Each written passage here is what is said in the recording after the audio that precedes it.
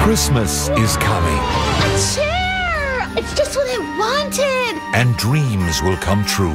This chair is from Oprah's studio audience. No, way! shut all the doors in the house, Erica! Harold Plumasian, look under your chair.